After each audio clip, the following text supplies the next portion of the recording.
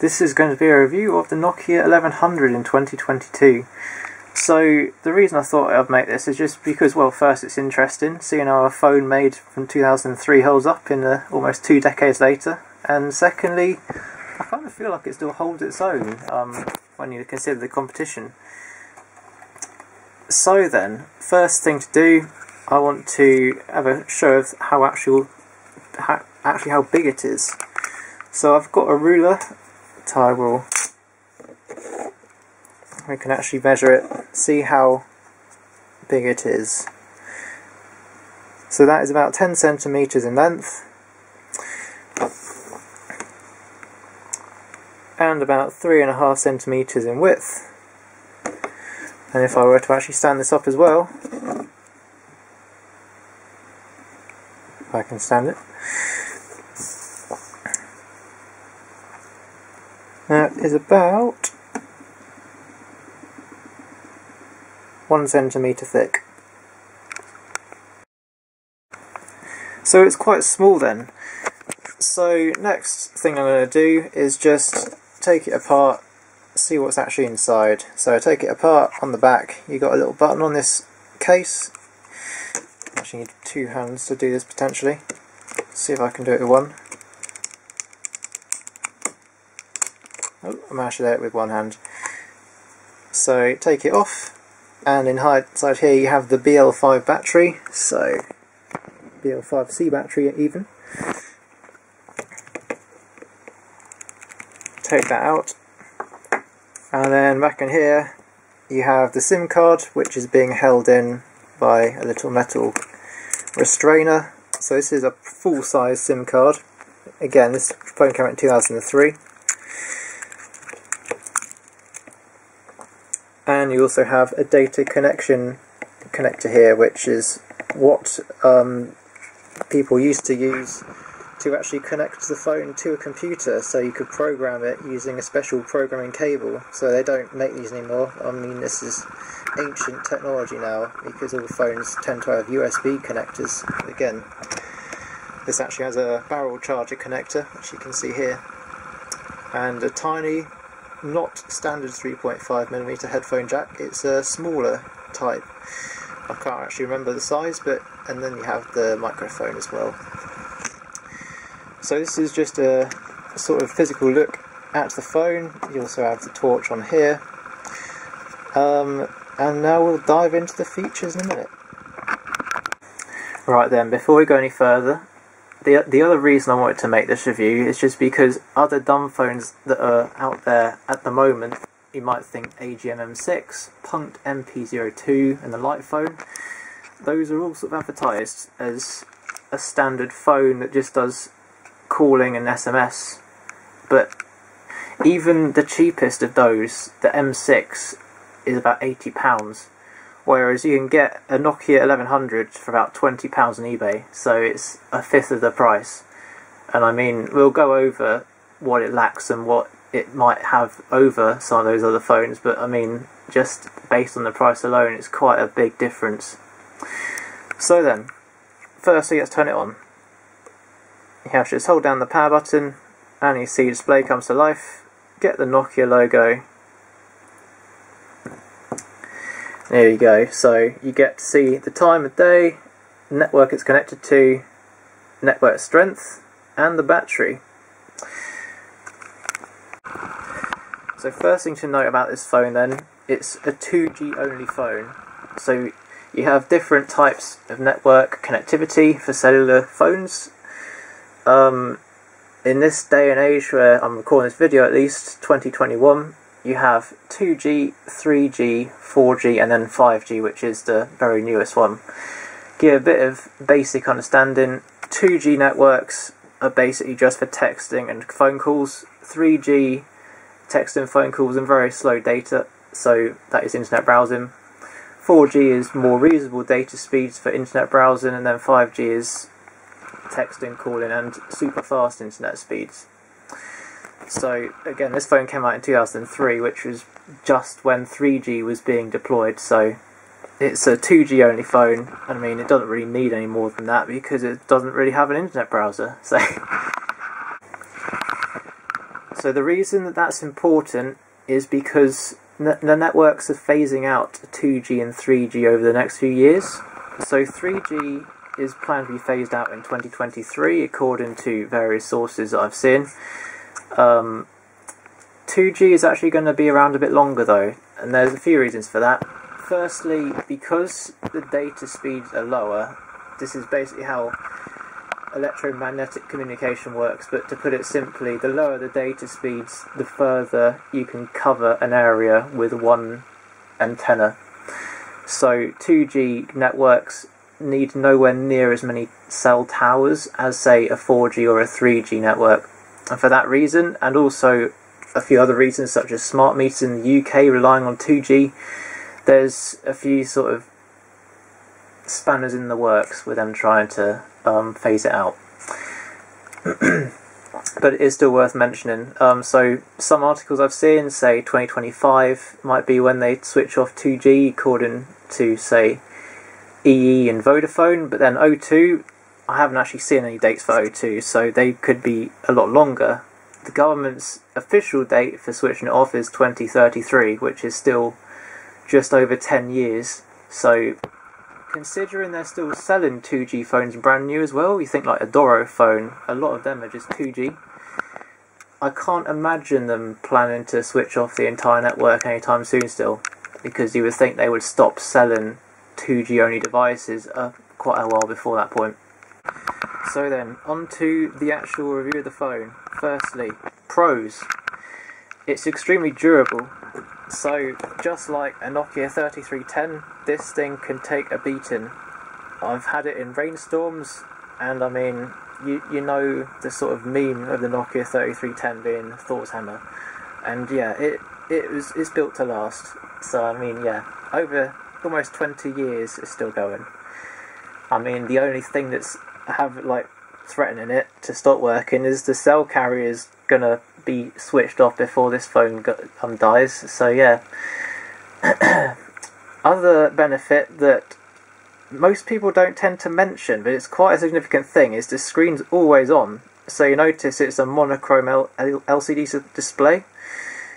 So most um, modern phones, smartphones, and even feature phones, they have um, color displays, but you have to constantly be pressing a button for it to have the, the screen showing anything on it. Whereas this one, sure you can um, get to display up in the green backlight, but even without the backlight, you can still see what's going on on the display. And only e-ink displays can really compete with that, so that's what the Light Phone 2 might have, but again, you think the price difference. A Light Phone is over £200 as far as I remember. Whereas again, this is 20 quid, so a tenth of the price or even less. So, yeah. Um, the standby time for this is absolutely insane as well in terms of the battery life. So this is half battery. I mean, I don't have this on much, but I last recharged this probably over half a year ago, and it's at half battery. Because even smartphone batteries will discharge over time, but this battery in this phone just seems to keep going and going. Yeah. um, the other benefit with that is it's got the BL5C battery, but made by Nokia, and that's a very common battery used in a lot of different Nokia phones. So even today, if you search for a BL5C battery online, you can find them on Amazon for about 12 quid. So, yeah, that's good. So another benefit then is the minimalistic interface. So if I actually browse around here, you can see this is a very simplistic interface. You've I can click into the menu, you get a list of options, and that's it. So it's not like you're going to get lost in it like, uh, say, um, some technophobe old people might. I mean, I'm just being stereotypical here, but I mean, we a lot of people may know someone that's a technophobe, and uh, even now might uh, fret when they think about a smartphone or using one. Other benefit um, predicted text is extremely accurate as far as I'm um, from my experience. So um, I'll just think of a message to type and then I'll, I'll, sort of show you how accurate it is. Okay, I'll type the fox jumps over the lazy dog. So here we go. I'd have to try and type while having this all on camera.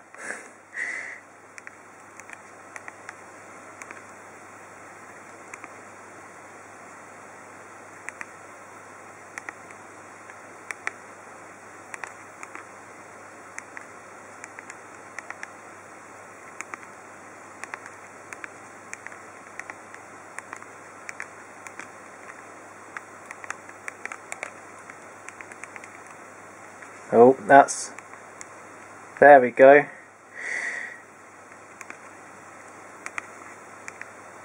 See? So it only got one let one word that wasn't quite right, so I had to correct that. You can correct by pressing this button here, which will change. So you can see it's just changed between all possibilities when I click it every time. Um, so then that's uh, that's useful. Um, when you send a text, it will just send it. Um, it will give you a confirmation once it's sent. It will give you like a tick notification. Um, this is a pay-as-you-go sim, so then it will also tell you your balance once you send a text. So in fact, let me send a text as well, and you can see what happens. Okay, just sending the the message now. So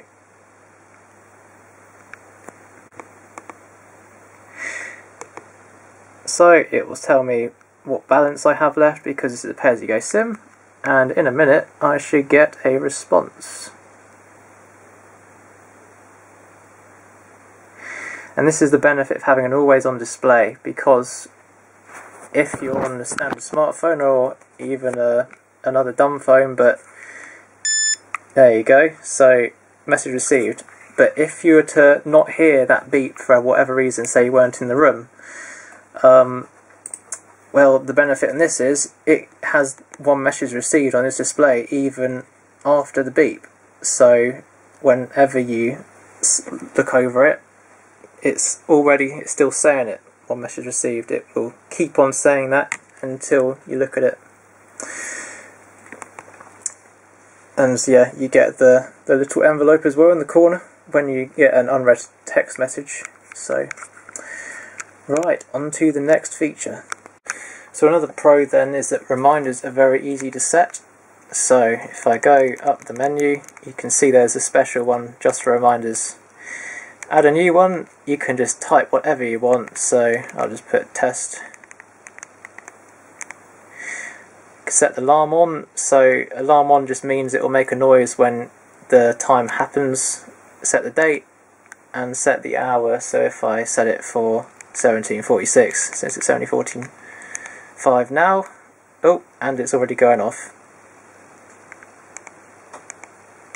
And there you go, it would actually have made the beep, except I think it sort of glitched out because I was already in the menu. Um, and yeah, the reminder comes up, it's right on the screen. I can either press the middle button to make it snooze for 10 minutes, or I press C to clear it. Um, so the other thing is alarms, which are very similar to reminders. Um, they're extremely loud, and uh, let me uh, show just how loud it actually is.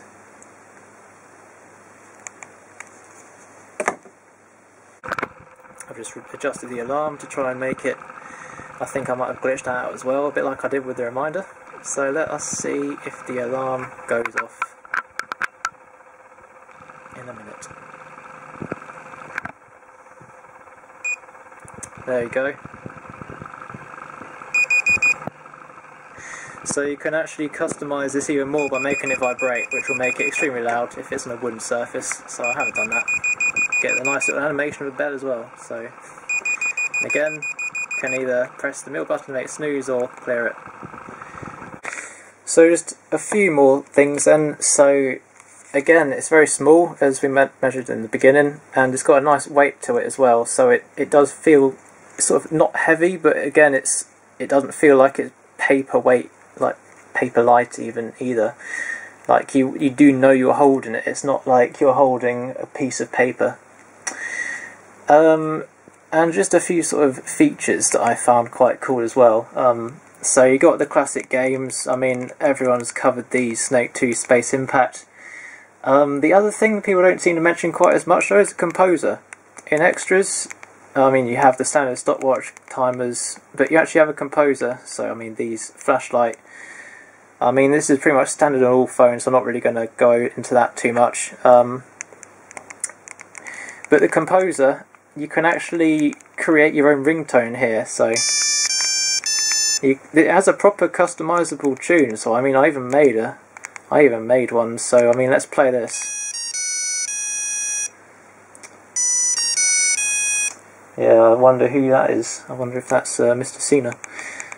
Um, so, yeah, I mean, it's the composer itself. You can have quite a bit of fun with that. I mean, it's got a 50 note limit, and uh, that's you can do quite a bit with that. So that's pretty much the highlights for me. So as for the cons, then I mean, there aren't that many cons to be honest, considering it's a 20 pound phone, and it, it's like there's even the the small 2G phones such as the the Zanco Tiny T1, which is a ridiculously small phone. It's not really usable. It's fifty pounds. This is twenty pounds, and it's actually usable. So the drawbacks then, there isn't a camera. Again, it's just a really standard phone. There isn't a loudspeaker either, which can be annoying because you have to really hold it up to your ear or you just can't hear anyone. There is no option to put it on loudspeaker. And uh, an obvious one, no internet capability. It's a 2G phone. There is no internet browser. Um, one other thing, which is, again, there is no USB connection on it. It's just a barrel charger. So, again, the charger plugs into that port there. Um, non-standard headphone jack, but again, you don't really use headphones in this thing. There's no music playing capability, and then you just have a tiny microphone. So, yeah, the main reason I mentioned no USB is because pretty much every man and his dog has a USB cable nowadays. Where so, if a smartphone has a USB charger, you're probably going to have a cable to charge it with. Not so for this. You have to get a, a separate type of charger. Most people won't have one. But again, you only need one charger, and then uh, a charge tends to last you about two weeks if you have it on that time. I mean, sometimes you might turn it off, and then it can last you a long, long time. So, yeah, I mean, final verdicts then. Um, as the age old saying goes, if it ain't broke, don't fix it. And I mean, there isn't really much wrong with this phone, really. Um, it's got the unique benefit of an always on display, which most people will have forgotten the luxury of because smartphones killed the always on display. And I mean, e ink's making a bit of a recovery of it, but it's still not there yet. Um, it's small as well. There's very few phones that are this small, and it's quite nice because you can just store it in so many more places. Um, it's a lot like Nokia 3310. In fact, it's almost identical in terms of features. The only difference is this is smaller, which is more useful, I would say. So, Nokia, if you're watching, make this phone again. Just put a 4G modem in it, and I would buy it straight away because this is what I want for a backup phone. Like, I mean, for some people, this might be fine for a main phone, but again, for someone like me, I there's too many useful features of a smartphone for it to be a main one for me. I mean, other people may vary though, but yeah, stuff like WhatsApp. I mean, various people I know use it, so it's just uh, more of a pain if I can't use that sort of stuff. But no, as a backup phone, I definitely recommend this because again, it's just a good price point, and it does most of the stuff that the modern competitors in the dumb phone category can do. It's just much more economically friendly. So yeah, I mean, if that's the sort of position you're in, you're looking for a basic phone. I mean, sure, it doesn't support 4G, so eventually it won't work. But again, I can't see that happening for at least three years. And if it's on O2, it will probably be even longer since I haven't heard any sort of date from O2. And again, could be as long as 2033, but probably more like 2030, slightly before. But I'd still say there's a good five years or more in it. And for £20, that's not bad going. So yeah, hopefully you found this um, enjoyable. You might have learned a few things potentially. And yeah,